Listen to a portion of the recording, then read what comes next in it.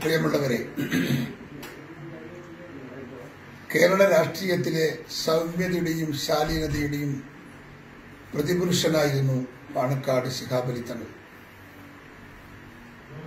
കേരളത്തിന്റെ ജനമനസ്സുകളിൽ രാഷ്ട്രീയത്തിന് അതീതമായി ചിരപ്രതിഷ്ഠ നേടാൻ സാധിച്ച അപൂർവം നേതാക്കളിൽ ഒരാൾ. അദ്ദേഹത്തിന്റെ വേർപാട്. ആ വേർപാടിലെ ദുഃഖം ഞാനും നിങ്ങളും ഇന്ന് ഓർമ്മിക്കുകയാണ്. പതിനൊന്ന് വർഷം പിന്നിട്ടിരിക്കുന്നു. പക്ഷേ പതിനൊന്ന് വർഷം പിന്നിട്ടു എന്ന് വിശ്വസിക്കാൻ പ്രയാസം. ഇന്നലെ വരെ നമ്മോടൊപ്പം ഉണ്ടായിരുന്നു ശിഹാബ്ദങ്ങൾ എന്ന ഒരു തോന്നൽ. അത് ആ വ്യക്തിപ്രഭാവത്തെ വ്യക്തിപ്രഭാവത്തിന്റെ ഒരു പ്രത്യേകതയാണ്. കണ്ടവരാരും മറക്കാത്ത കണ്ടവരാരും ഒരിക്കലും മനസ്സിൽ നിന്ന് തൂത്തുകളയാൻ സാധിക്കാത്ത സ്നേഹസമ്പന്നതയുടെ പ്രതിപുരുഷനായിരുന്ന ഒരു നേതാവ്.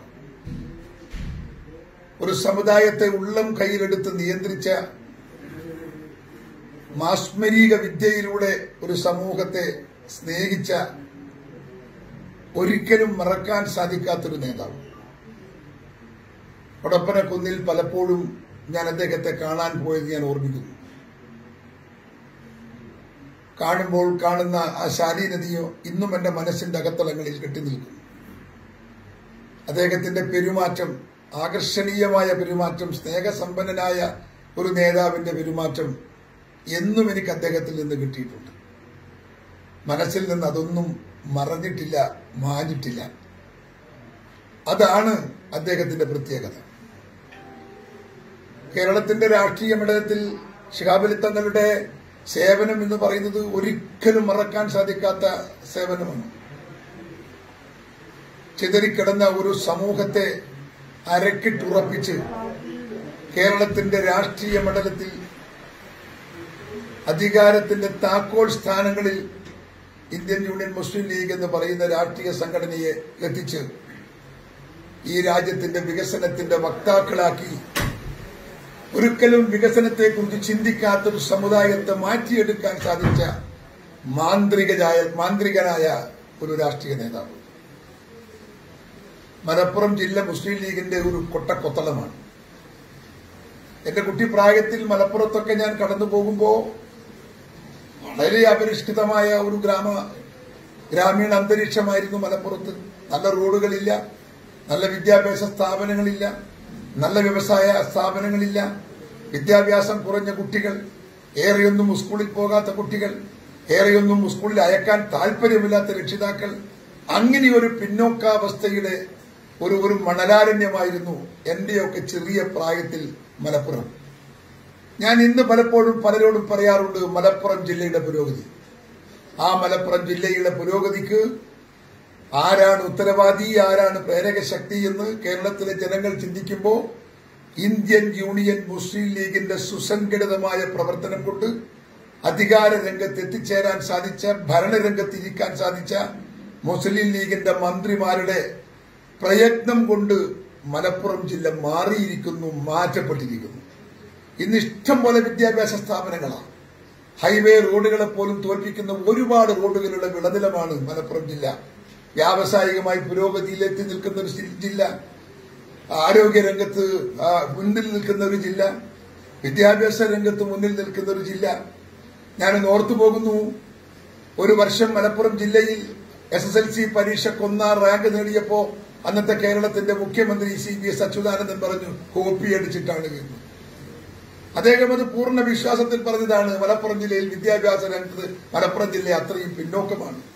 പക്ഷേ അടുത്ത വർഷവും മലപ്പുറം ജില്ല ഒന്നാം റാങ്ക് ഒന്നാം സ്ഥാനം നേടിയപ്പോ അന്നാണ് വി എസ് അച്യുതാനന്ദന് മനസ്സിലായത് മലപ്പുറം ജില്ല മാറിയിരിക്കുന്നു.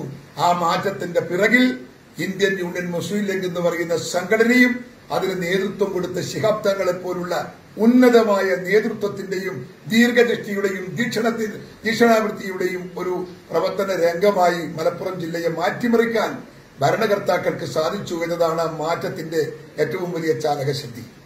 അവിടെയൊക്കെ നിറഞ്ഞു നിൽക്കുന്നത് ശിഹാബ്ദങ്ങളാണ്. ശിഹാബ്ദങ്ങളാണ്. ബാബരി മസ്ജിദ് തകർക്കപ്പെട്ടപ്പോ രാമക്ഷേത്രം തകർക്കപ്പെട്ടപ്പോ അവിടെ ഈ രാജ്യം കത്തിക്കാളുമായിരുന്നുവെന്ന്. ബാബരി മസ്ജിദ് തകർത്താൽ ഇന്ത്യ രാജ്യത്ത് കൊച്ചു കേരളത്തിൽ ഈ നാടിനെ തകർക്കാൻ സാധിക്കുന്ന മുസ്ലിം സമുദായത്തിന്റെ സംഘടിത ശക്തിയുള്ള ഒരു നാട് ഈ മലബാർ. ആ മലബാറിൽ കത്തിക്കരിയുമായിരുന്ന ഒരു സാമൂഹ്യ അന്തരീക്ഷത്തെ മാറ്റിമറിക്കാൻ ഒരു മാസ്മരികനായ ഒരു മജിഷ്യനെ പോലെ സംഘ- രംഗത്തേക്ക് കടന്നു വന്ന് മാധ്യമങ്ങളെ മുൻപിൽ നിർത്തി മുസ്ലിം സമുദായത്തിലെ ചെറുപ്പക്കാരോടും മുസ്ലിം സമുദായത്തിലെ അംഗങ്ങളോടും ശാന്തിയും സമാധാനവും കാത്തു സൂക്ഷിക്കേണ്ടത് നമ്മുടെ കർത്തവ്യമാണ് എന്ന് അദ്ദേഹം ഉദ്ഘോഷിച്ചപ്പോ അത് നെഞ്ചിലേറ്റിയ മുസ്ലിം സമുദായം കേരളത്തിലെ മുസ്ലിം സമുദായം ഒരവ ശബ്ദമുണ്ടായില്ല ഒരു ചലനമുണ്ടായില്ല ഒരു അക്രമം ഉണ്ടായില്ല ഒരമ്പലമോ മറ്റ് സ്ഥാപനങ്ങളോ കത്തിയില്ല.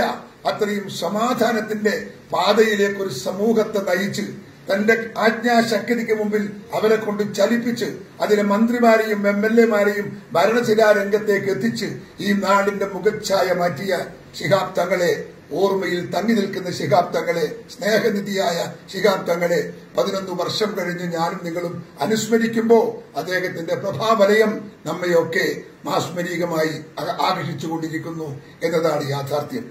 ഏറെ ഏറെ ദീർഘിപ്പിക്കുന്നില്ല. കേരളത്തിലെ മുസ്ലിം സമുദായം അദ്ദേഹത്തിന്റെ ചരമവാർഷികം ആചരിക്കുന്ന ഈ സന്ദർഭത്തിൽ ആ ഓർമ്മകൾക്ക് മുമ്പിൽ ഞാൻ നമ്പർ ചിരസ്കനാകുന്നു ആ പാതാളബിന്ദങ്ങളിൽ ഞാൻ കുനിയുന്നു നമസ്കരിക്കുന്നു.